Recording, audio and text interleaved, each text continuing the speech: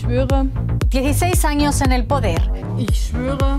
Es el tiempo que ha durado la llamada era Merkel al frente de Alemania. So wahr mir Gott helfe. Muchos jóvenes de este país no conocen a otra canciller. So wahr mir Gott helfe. Después de cuatro legislaturas, es la primera en abandonar el cargo voluntariamente y con una popularidad envidiable. Muchos de ustedes critican que en este canal les hablemos de los mecanismos usados por ciertos presidentes para perpetuarse en el poder sin tener en cuenta que Angela Merkel lleva más de una década al frente de su país. Pero, ¿es esto comparable? ¿Cómo es posible que Merkel se haya mantenido tanto tiempo en la Cancillería sin que eso suponga un peligro para la democracia en Alemania? Te lo explicamos en tres pasos aquí, en contexto. 1. En Alemania no existe un límite constitucional que restrinja el número de legislaturas. A diferencia de otros mandatarios latinoamericanos, en Alemania nunca se cambió la Carta Magna para modificar los límites constitucionales de estos mandatos y asegurarse así una futura reelección. En América Latina, el presidente es jefe de gobierno y jefe de Estado. Concentra eh, el, el cargo eh, ambos cargos, mejor dicho, en una sola persona. Eh, tienen un poder muchísimo mayor. Dos, en cambio Alemania no tiene un sistema presidencialista. Ningún ciudadano puede elegir a la, sola, a la señora Merkel o a otro gobernante en su papeleta, sino que solamente un partido, de manera que no es un mandato personal y personalista que se eh, genera desde las elecciones. Una vez formado el Parlamento o Bundestag, son los diputados de las diferentes fuerzas políticas los que eligen al nuevo o a la nueva canciller, que suele salir del partido más votado. Así que no son los electores los que eligen al canciller, sino que lo hace el Parlamento. Y tres, quien crea que el Partido Conservador de Merkel ha tenido el poder absoluto en los últimos 16 años, se equivoca. Aunque la Unión Cristiano-Demócrata y sus socios bávaros ganaron las elecciones, tuvieron que buscar socio de coalición para poder formar gobierno. Y ahí radica uno de los talentos de Merkel, la búsqueda de consensos.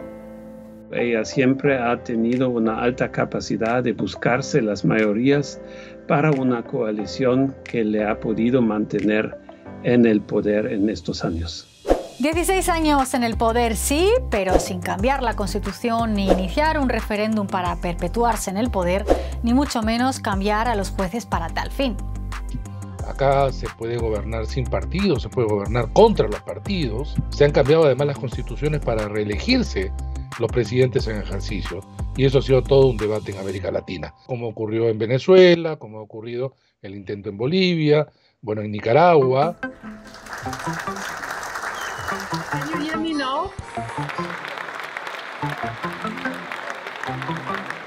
Pero seamos críticos con el sistema alemán. ¿Ha sido sano para la democracia de este país tener a una líder durante tantos años o deberían ponerse límites a su mandato? Aunque no se entienda desde fuera, para Alemania el sistema funciona. Reeligen a los partidos e indirectamente a sus líderes, sobre todo en momentos de crisis. Quizás Angela Merkel no se habría presentado a las últimas elecciones, a las del 2017, si no llega a ser por Donald Trump, pero lo hizo y los electores vieron en ella una garante de seguridad en ese momento. Merkel, sin embargo, todo hay que decirlo, se retira en la cresta de la ola, porque si se presentara, podría volver a ganar las elecciones. An icon of stability. The stabilizing force. The symbol of stability. A symbol of stability not just in her own country, but internationally too. Lejos de ser percibida como una amenaza, en cuanto a Merkel, todos coinciden en que ella se convirtió en símbolo de estabilidad. Una palabra que gusta sobre todo a los alemanes, pero que dio también seguridad en momentos de crisis en su país a nivel europeo y también global.